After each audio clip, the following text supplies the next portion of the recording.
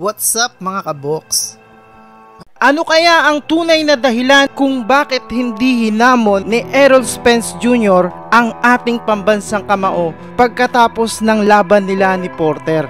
Matatandaan na bago magumpisa ang laban ng Spence at Porter, bukod sa patot sa dahan ng dalawa, ay tila nag-aagawan din sila na kung sino ang nararapat na makalaban ng ating pambansang kamao na si Manny Pacquiao.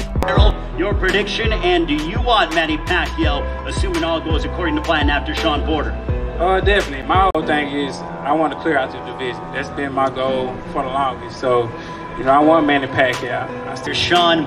And then obviously Pacquiao is still right there. I'm gonna take care of him September 28th. Now I'm gonna hopefully be going after Manny Pacquiao. Simple as that. So you want to go after Pacquiao, That's it. assuming you handle business on September 28th? That's it. That's it. That's all. At nung nanalo nga si Spence laban kay Porter, ay inaasahan na hahamunin na ni Spence si Manny Pacquiao. Ngunit wala pong Pacquiao na binanggit itong si Errol Spence. Maging ang nag interview sa kanya ay para bang iwas din na banggitin ang pangalan ni Manny Pacquiao.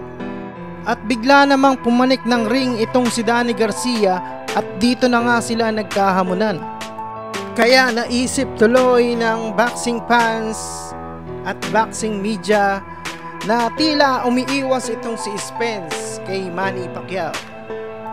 Opinion ko lang mga kabox na baka may nakaset ng laban itong si Manny Pacquiao sa PBC kaya hindi na nila ito sinasama pa sa usapan. Marahil ay totoo nga ang balita na kumakalat na baka matuloy na ang labang Mayweather at Manny Pacquiao. At kamakailan nga lang nung si Pacquiao ay nasa Dubai, inamin din ng pambansang kamao na nag-uusap na nga ang dalawang panig hinggil sa nasabing laban nila ni Mayweather.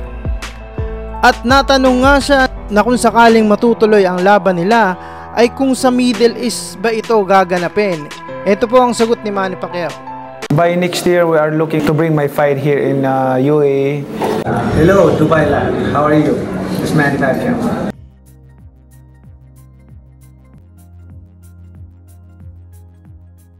Si Mayweather nga daw po ang tatanungin, masyado pong maraming kondisyon, maraming arte itong si Mayweather. The problem with uh, Floyd, um, he has so many demand um, to to bring the fight here. So it's At mahihirapan din daw po ang mga promoter, pati ang mismong government ng Middle East kung sakaling dun sila paglalabanin.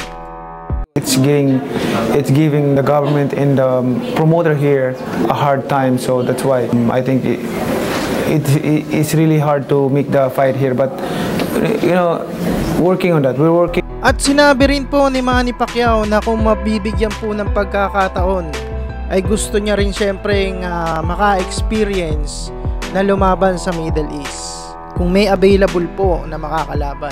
And I'm hoping that um, we one day we can bring my fight here in Dubai, uh, in Dubai and UAE, uh, especially. And and of course, um, I really, I really, I'm really excited to uh, to bring my fight here in in UAE. To on on on whatever my opponent is, to just to to bring the fight here in in UAE.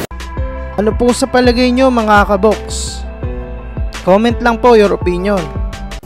Hanggang dito na lang. Maraming salamat nga po pala mga box sa mga nag-subscribe po sa channel na to. At sa mga bago pa lang, please huwag niyo pong kalimutan na mag-subscribe. I-hit niyo po yung notification bell para updated po kayo sa mga bagong video. Muli, maraming salamat po mga kabox.